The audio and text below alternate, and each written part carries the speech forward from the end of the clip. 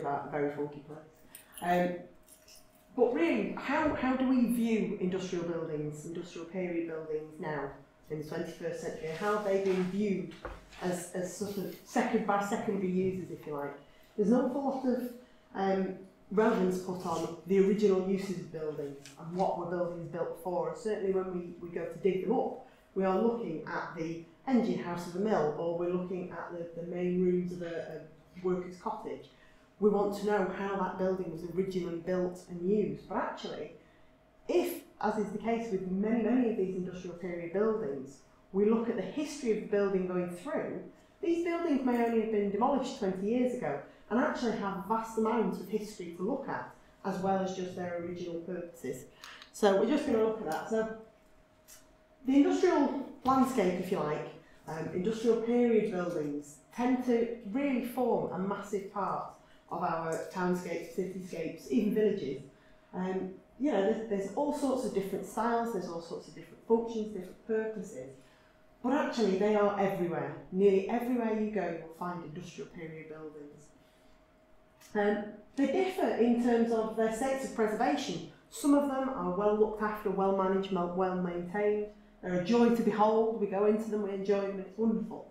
Some of them, not so much so. You tend to get lots of um, buildings which are, are left to, to go derelict. You get mills, particularly, which are, are very much more difficult to try and maintain. There's all sorts of issues between ownership and who uses and all, all that sort of stuff. And then you also get a vast array of differing purposes for these buildings. So, broadly speaking, we can probably categorise them into roughly four different groups. So we've got housing. Usually, um, certainly in bigger cities, and, and this does focus slightly more on Manchester, which is where I know better. Um, but usually we're looking at things like um, workers' housing, we're looking at terrace housing is very popular, then also particularly in larger cities, places like Manchester, Liverpool, London, Birmingham, Leeds, you tend to get these very nice sort of mill owners' houses, so to speak, or these very nice big kind of villas and mansions and that sort of thing. Then we have shops and commercial premises. So these are the sort of things that make up our, our high streets, so to speak. Some of them were purpose built, some have since become shops, that sort of thing. We also have massive warehouses, certainly again in, in bigger cities like Manchester, Liverpool, Birmingham, Leeds. Um, we've got massive warehouses, all to do with the, the storage of, of various manufactured products. Um, so there's all that sort of um, buildings going on. Then there are mills, a very, very important part of the industrial period, um, of which there is a vast array of varying preservation states uh, varying sizes, used for manufacturing various different things. So all very slightly different in their own way, perhaps even the ones that were used for the same items. Um, they're all that slightly different. And then finally we have these public buildings. So we have things like town halls, like schools and hospitals, um, public baths, all that kind of stuff. So we've got this massive wealth of industrial period buildings that aren't necessarily related to industrialisation, so to speak, in terms of the actual direct manufacturing. So just very quickly to sort of have a look through what we have got and the way they're kind of being used and reused as well. We've got housing. So as I say, a great proportion of, of the industrial period housing that we still see standing today, particularly in bigger cities and towns, tend to be the workers' housing. Um, so we're looking at this kind of thing, um, terrace houses. Usually, um, as we get into the urban areas, into the cities, there aren't so many of these left, and those that are left tend to have been converted into some sort of retail purposes or commercial purposes. Um, basically, that's because as, as our towns and cities have expanded, we've wanted to spend more time on building fancy new buildings that all look wonderful and marvellous. And actually, these these houses that were originally part of our kind of, uh, I suppose, the peripherals of our, our towns and cities have actually become part of the town centres and are needing to be updated. And generally tend to find that these are also the, the smaller ones. Um, so you can just see there's a, there's a definite difference in width of houses between these two. You tend to find, particularly in the urban settings, we're looking at houses that are generally tended to be built early 19th century, um, slightly bigger, well, late 18th, early 19th century. They're slightly bigger, they're slightly better appointed, slightly better made. The minute that population explosion happens within the city, particularly again in Manchester, Salford, Liverpool, we have this vast explosion of population all coming in to work in mills and factories. And actually we start to find that houses are starting to be squeezed to get smaller and smaller and smaller to fit into various spaces. So it's only really with sort of various rounds of legislation that we get slightly better houses being built again. And certainly we do tend to find them slightly bigger, the terraces, when we start moving out into the smaller uh, suburbs round about. And it's these ones really that we tend to see more of today still in use, still being reused. Um, because they are still a, a reasonable way of living. I live in a terrace house, it's quite nice. Um, and these have become our norm. These have, these have shaped the way we think about what a normal house is. A normal house is a two up, two down. It's got two windows and a door. Every child draws a picture of it. And it, it's thanks to these, these mass ways of housing people that were, were thought of by the, the industrialists who built them that actually forms our, our way of thinking about what a house should be. Then we have on the other side of things, we have these larger, nice villas and mansions and that sort of thing. And what we've got here are slightly bigger houses that, again, generally tend to stay in use because even though they were for a very select bunch of people when they were first built, they've actually now proved to be actually quite a useful way of housing quite large numbers of people. And certainly, again, in, in the larger cities, these sorts of housing are often, often converted into flats. Um, particularly in university towns, you find a lot of this sort of housing in university towns. So these ways of housing are still fairly relevant. The only problem comes, as I say, is when we get into the sort of the city centres. These are both. This is uh, Hulme, just on the outskirts of Manchester, um, and this is Ancoats in Manchester. And we start to see problems happening as, as the towns and cities get more and more modernised in the 50s and 60s. Um, these ways of housing, these kind of industrial buildings, cease to be relevant. They cease to be actually usable in these town centres. So unfortunately, a vast array of this smaller, slightly lower quality housing does tend to have gone. And the only way we can find that is then by excavation. So that's our housing. Then we have shops and commercial buildings. Um, and really, they're quite similar in, in terms of, of sort of the way they're being used and the way they're being um, kept, I suppose, to the way we're looking at housing. And again, they are forming the way we think of as a normal high street should look.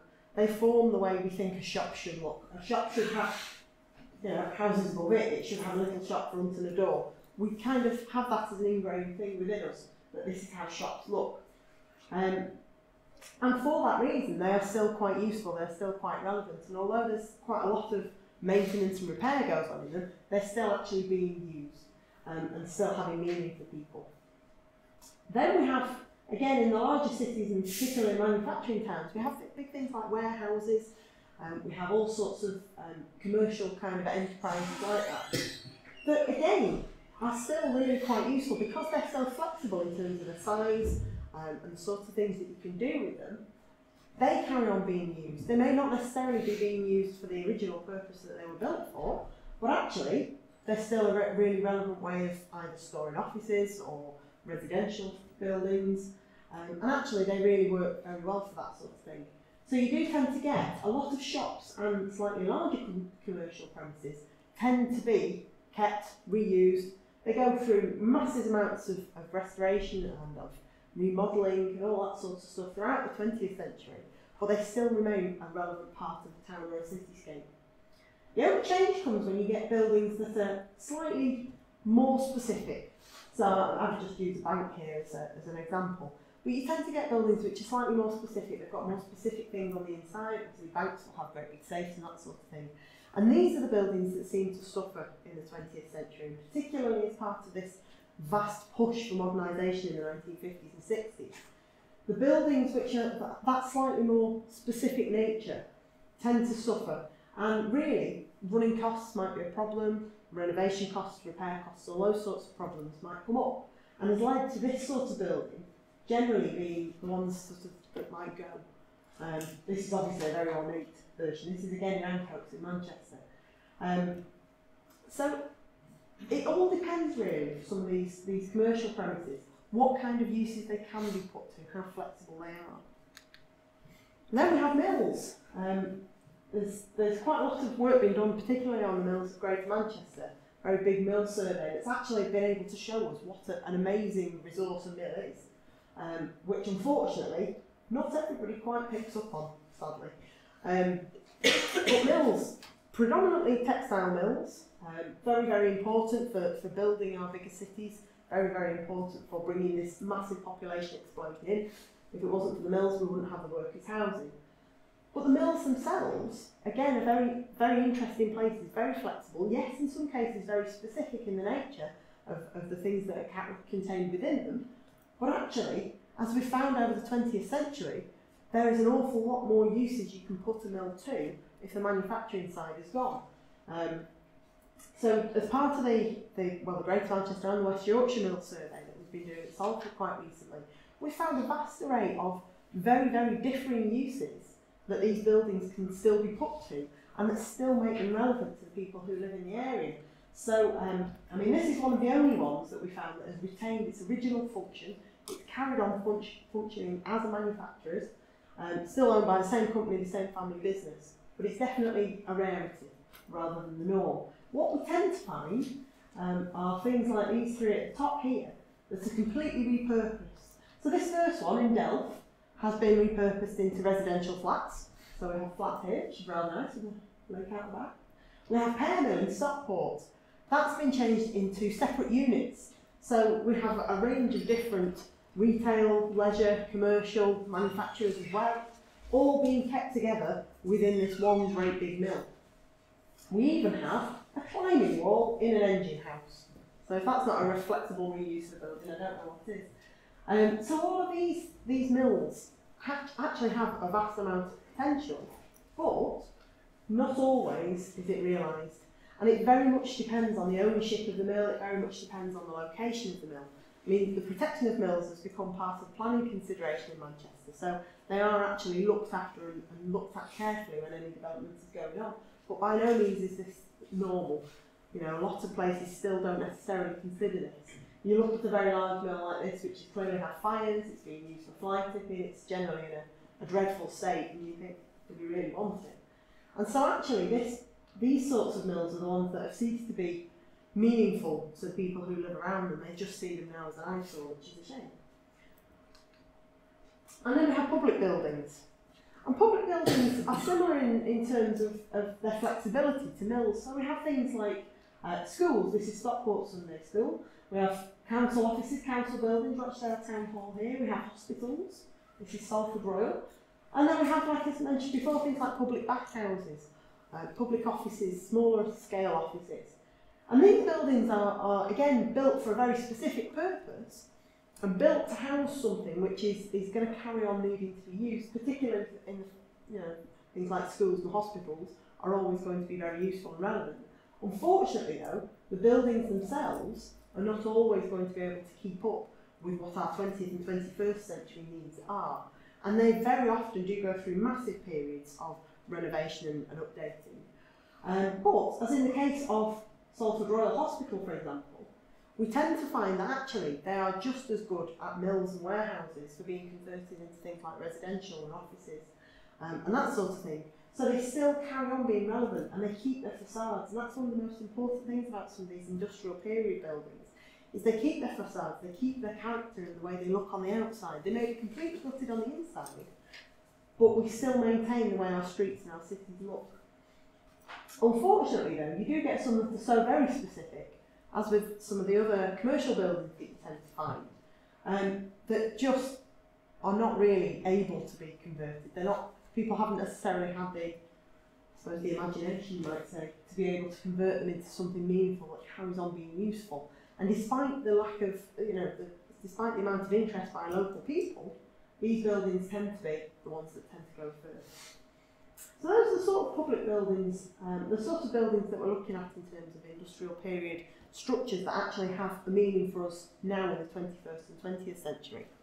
Um, and the reason I'm looking at these is because we've been concentrating um, with an excavation recently on one very specific building. It's actually in Moss Side, which is just on the periphery of Manchester. Um, it's, it's quite a nice industrial period building, very Gothic in its style. Um, it's not too bad, but unfortunately, it had an awful lot of things going on in it, um, which meant that later reasons, the building itself was very good, it was very nice, it was a really nice building to be able to preserve, but its later uses is what caused it to um, be demolished. Um, but the other interesting thing about this building is how much it meant to the people that used it. And that's the big thing about industrial period buildings. These sorts of buildings form our, our way of thinking about our towns. They are still very, very, um, there's a lot of them across our towns. And they form the way we kind of, we think about the towns, they form the way we think the town looks. And they also form the way we think about what we can do in them. Because we do have these potential for sort of very specific uses, we think of a building as being tied up and associated with the thing that it was used for. Most of the time, usually when we're children or when we're young. And it kind of stays like that in our mind, and that very much happened at the Reno. So we were approached uh, by a lady who said, we wanted to dig this building up. It had been demolished in 1986, um, and it had basically uh, meant an awful lot for the, the mixed race community in Moss Side in Manchester. The building itself, uh, the earliest we know of it is from this photo, where, where it looks certainly, is from this photograph from 1908. It was actually built around about 1905 to replace um, a bus terminus. So there was nothing on the site previously. Um, and it was just your average late Victorian um, shops at the bottom, houses at the top, in order for the people who lived in the shops.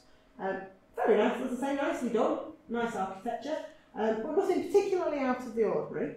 Still maintained its, its usefulness. Um, and really, it comes into its own, certainly in terms of the, the people who now think of it most and who now kind of are stakeholders in it, you might say. Um, it comes into its own around about the 1950s when the residential above the shops, the shops carried on, but the residential above actually became seamen's mission for mostly African Caribbean sailors. And so we got quite a, an influx of sailors from that part of the world, all living together, all starting to sort of find themselves in Manchester, find out what they wanted to do in Manchester. And as is generally the case when you get a lot of sailors together, a lot of drinking and gambling started, um, which is probably not unusual to anybody who knows sailors and port towns and that sort of thing. So we actually found that really the building kind of worked well for that because all of this residential um, area space up here was all very, very open. So it really worked well with, with this new purpose of maybe not necessarily exclusively residential, but actually with sort of bringing other people in to start these little informal gambling and drinking clubs. And as that, that kind of got bigger and better and, and more so, um, one of the, well, several in fact, of the original kind of sailors who lived here started to look at perhaps opening a proper establishment and they wanted to look at actually opening a club so they could really formalise this and stop worrying about it a little bit. Um, so what happened is the building itself started um, as shops, but actually we had a basement club coming through this door, we had an upstairs club coming through this door up here, and we had a pub on the corner, all set up, um, all set up sort of specially for them and the people that they knew. And actually what it became were nightclubs. So the Reno was the basement club, and it really became a really special place for the people who went to it. It was the only place that the people who um, had sort of married into the local population could actually feel at home. It's the only place that the children of those people could actually feel at home, those mixed race children. And although children shouldn't be going in nightclubs, judging by the people that came and did the excavation, they were. So it became, although the building was very important, the basement of the building in its later use became something more than just, oh, it's a lovely building, I remember it from when I was a child. Um, so we wanted to, Linda, who's the lady who put together the whole ex excavation, um, wanted to come in and be able to pick out some very important parts of the Reno Club. Not just for the fact that she wanted to open the Reno up, but she also wanted to be able to give this community who'd used the building in its later life a voice and a sense of place and a sense of belonging. And so what she wanted to do was to concentrate on the bits that really had memories for people. So this is the club as it stands after excavation. She was very excited that we still had the checkered floor. We've got a bit of the dance floor in the corner, which was apparently the most important bit. Um, but then we also have areas that really provoked an awful lot of excitement. All volunteers that took part in the day were all people who had actually been to the club and who actually had this vested interest in it.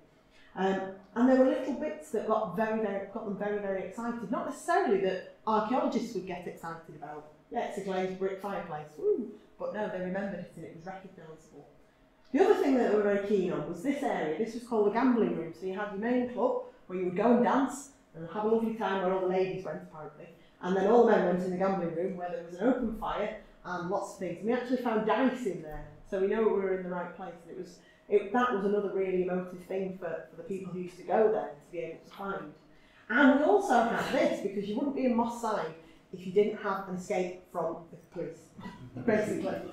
Um, and this was another area that Linda was very, very keen that was opened up and exposed because they can all remember when the police came in the front door, they all laid it out the back. And she wanted to be able to show that because that was as much a part of the experience as the dancing and the gambling and the drinking.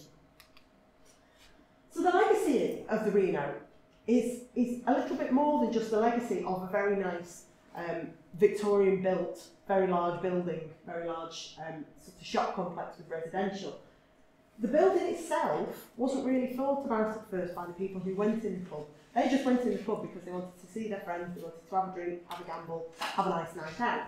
But actually what turned out when we started excavating was the fact that actually some of the bits and pieces that they were finding you, um, had, had a resonance for them that they didn't even necessarily realise. They noticed bits of the architecture, they remembered bits and pieces of things. And all those bits and pieces of the building itself sparked off memories and actually added to their sense of belonging, their sense of place. And now, what we have is a group of the people who used to go in the Reno who felt completely marginalised by everyone else they met, have actually got this as their kind of spiritual home now, and they have run with it um, just based on the rediscovery of this building. They've got all sorts of um, exhibitions, they've got films, they've got all sorts of things going on now that really makes them feel like they're important and, and valued. So it gets, gets us on to thinking about what do we do about the preservation, the restoration, the, the excavation of these buildings. I don't necessarily have answers to these questions, but they're worth thinking about. Who are the custodians of these buildings? Are they the people who own them? Are they the people who use them? Are they the public, the tenants, the stakeholders, the people who, for those, for those buildings, have a meaning for? Should we really be thinking about just the original use of a building when we start excavating it or preserving it or conserving it or studying it? Or should actually we think of it as a whole, as, as all of the uses that it's been put to throughout its lifetime? And should we really prioritise certain features over others? You know, are we looking specifically for the uh, inserted ranges that get put into a cellar dwelling after legislation in the 1850s? Or should we be looking at the concrete floor that was put in afterwards? So it's just some questions to think of, um, and also just to sort of get you thinking about the way we, we start studying buildings. It's not just about, uh, sorry, it's not just about the way they were originally used. And actually, these buildings, because they are, are in our psyche the whole time as being buildings that we remember from childhood or, or from places that we loved, these buildings actually add to our own sense of place and our own sense of the way we feel about ourselves and the way we feel about the people who we know are around us. So, thank you.